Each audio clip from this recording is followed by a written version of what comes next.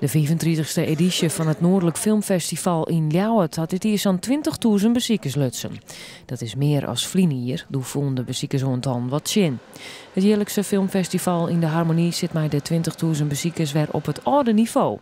Opvallend dit hier wie dat een soort films uitverkocht wienen, waaronder ik de openingsfilm of Horses and Men.